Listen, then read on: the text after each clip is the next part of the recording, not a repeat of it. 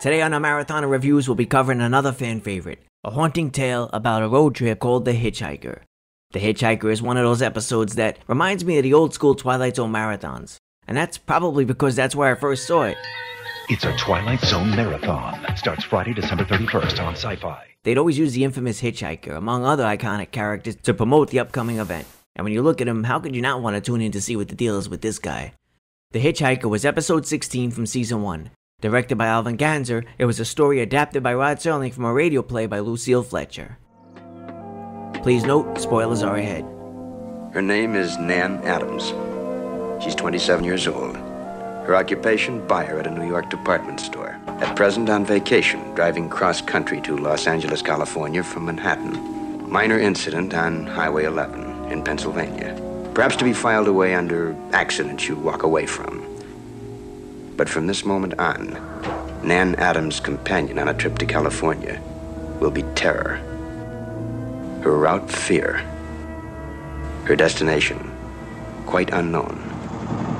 The lead of this episode is Inger Stevens, who plays Nan Adams. While driving cross country, her car got a flat tire, and by all accounts, she was going very fast. This episode wastes no time. A mysterious hitchhiker basically begins stalking Nan from the very opening scene. She notices the creepy hitchhiker, who one moment seems to be there and the next moment is gone. This mysterious hitchhiker soon becomes an ongoing issue for Nan as she continues her trip. I saw him again 50 miles further on. And then again on the long straight stretch through Virginia. Since she can't seem to shake him and it's impossible for him to even keep getting ahead of her, Nan grows increasingly terrified. In one of the more memorable and intense scenes, Nan stops at a railroad crossing for an oncoming train. Once again, she sees the hitchhiker. In an attempt to get past him, she tries to drive ahead. However, her car stalls on the tracks.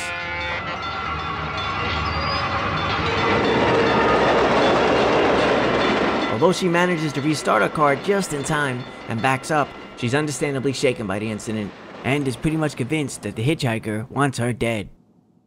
In yet another attempt to avoid him, Nan takes a side road in New Mexico, but her non-stop driving leaves her stranded and without gas. By this point in the episode, you really feel for Nan. She can't seem to catch a break. She did find a gas station, but by then it was way too late and the gas station was closed, and the owner was unwilling to reopen to even sell her gas. Luckily, Nan met a traveling sailor who was on his way back to San Diego. Nan quickly offered to drive the sailor all the way to his destination, and he couldn't be happier about it. With that, the sailor makes sure the gas station attendant opens up and sells them gas. Soon enough, the two of them are on their way. Although it was good to see Nan finally getting some kind of help, even when she met the sailor, it was still tough to tell if he could be trusted. Seemingly out of nowhere, there's this sailor in the car who's clearly checking her out.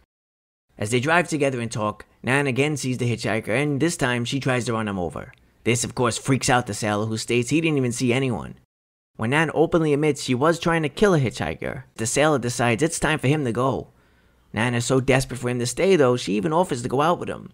He resists and abandons her anyway. Eventually, Nan reaches Arizona, and she stops to call her mother. This is Mrs. Whitney.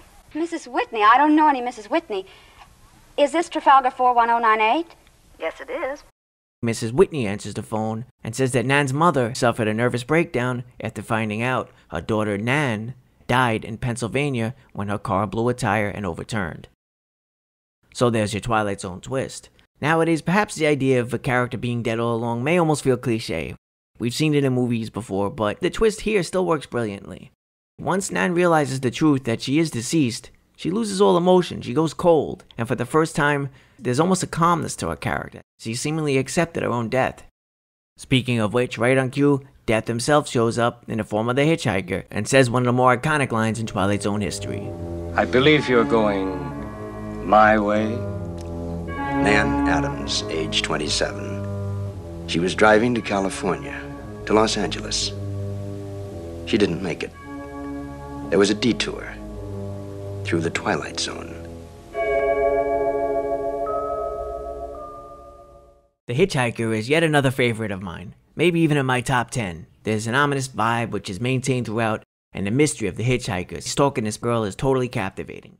We get very little in the way of levity, so The Hitchhiker works very well as one of the more frightening entries in the series. In fact, I'd put this one right up there with 22, Night Call, When the Sky Was Opened, and Mirror Image in terms of being terrifying. The performance from our lead, Inger Stevens, makes this well worth a watch. She seems like your typical everyday young woman. It's easy to sympathize with her, as she's alone and vulnerable on this journey. Unless you guess the twist on her first watch, it's unclear what's happening, and the mystery is all part of the fun. Is this hitchhiker some sort of evil apparition? Or is he a ghost of some sort? Maybe a hit and run victim who's now haunting Nan? In any case, you can relate to Nan's struggle. Her plight keeps you engaged from the beginning to end. At the center of it all is the hitchhiker, as played by Leonard Strong. Now, obviously, we get very little in the way of dialogue from him, but Strong is excellent as this mysterious and eerie entity. Look at him, his mere presence is just unsettling. And what makes him even more menacing is when he looks right at us, breaking the fourth wall in a very disturbing way. The open road is a perfect setting for this chilling story.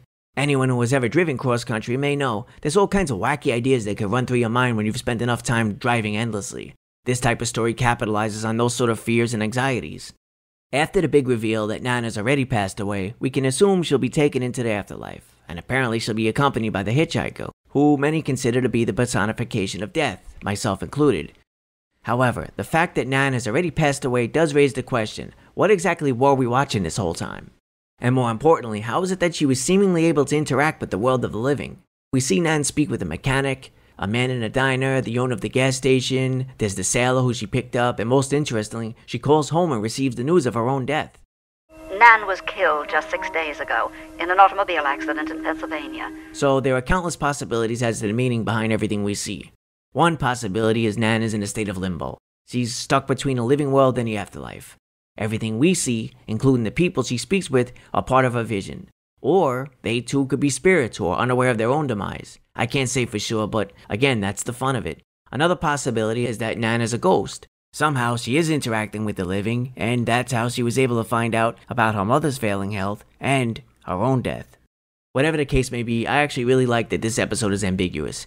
Everything doesn't exactly line up perfectly when you really think about it. This is yet another episode which I think is open to interpretation, so I'd be happy to hear what you guys think of this one. Now, before I head out, you know I have to go into some cool trivia. For starters, as I mentioned earlier, Rod Serling adapted this tale from an original radio play by Lucille Fletcher. However, in the original radio play, the lead was actually a man named Ronald Adams, and he was portrayed by a young Orson Welles. Unless I drove at 85 miles an hour over those endless roads, he waited for me at every other mile. I'd see his figure, shadowless, flitting before me. Wherever I stop, I see him. No matter how far I travel or how fast I go, he's ahead of me. Also of note, The Hitchhiker is somewhat inspired by a true story.